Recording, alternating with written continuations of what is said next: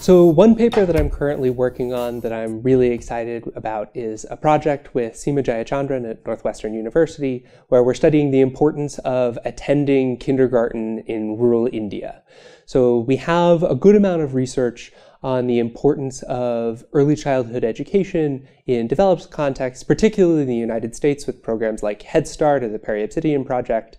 Uh, but we don't really have any, close to any experimental evidence from a developing setting. And you could imagine that the effects are quite different because, for example, if kids don't go to Head Start in the US, their parents can still, you know, uh, provide other educational inputs like uh, books at home, uh, other forms of educational after school activities, whereas we might believe in these kind of rural Indian villages where we're working, the other options are much more limited.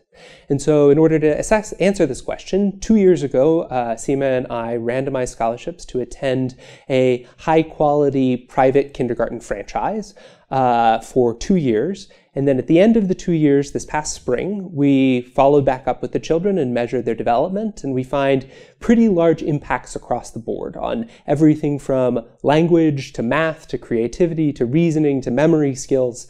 Uh, uh, and it's really hard to compare across contexts, but it seems like these impacts are much bigger than we would expect the impacts to be in kind of a developed setting. And obviously, this isn't the end of the story. This was just at the end of preschool. So this year, right now, as we speak, they're in uh, primary school, completing kind of first grade.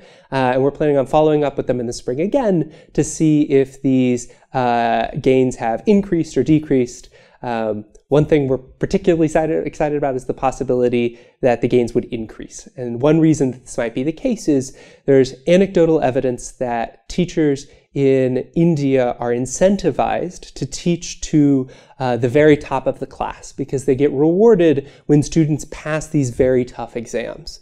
And so it's not within the teacher's interests to teach to the very poorest performing students, which means that if you come into kindergarten or you come into first grade uh, underprepared, you maybe don't even understand what your teacher is saying to you. And so it could be that by giving these kids an early boost up, we've pushed them into the zone of the classroom where they actually understand what the teacher is saying. And we could imagine that not only do they get an initial boost, but they then have the ability to understand their teachers and they continue on kind of an upward trajectory. And who knows what we'll actually find, but it's something that I'm excited about.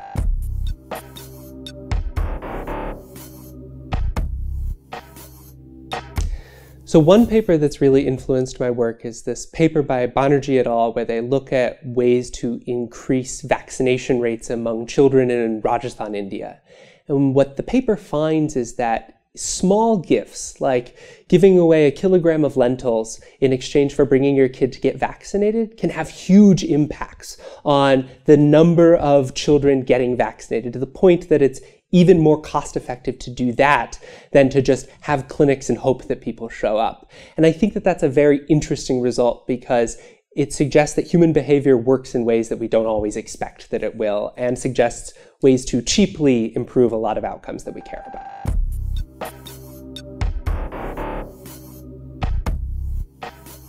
Yeah, so one question that I think is starting to get a lot of attention is how do we design policies and government procedures that take into account the cognitive constraints that citizens face. Uh, and what I mean by that is we for a long time have been very focused on making sure that government programs benefit only the people that they are specifically designed to benefit. So, for example, uh, uh, in Indonesia, uh, there's free rice that's given away. There's a lot of effort to make sure that the free rice doesn't go to people who don't need it. And one way that you uh, can do that is by making the act of getting the rice very complicated. So you need to apply for a form, you need to stand in line, you maybe make the rice not as high quality, you make someone have to walk a really long way. And the thinking to date has been that these kinds of barriers or ordeals mean that the only people who will bother to get the rice are the people that actually really need it. That's perfectly sensible, and that makes a lot of good sense in a world in which people have kind of unlimited mental resources and can perfectly optimize over all of the choices that are available to them. But if you believe that people's environments limit the kind of cognitive excess capacity that they will. And in particular, if you think that poor people's cognitive resources are more taxed by their environments, by having to worry about where they're going to get money to put food on the table the next day. You could imagine that these kind of ordeal mechanisms have the exact opposite effect.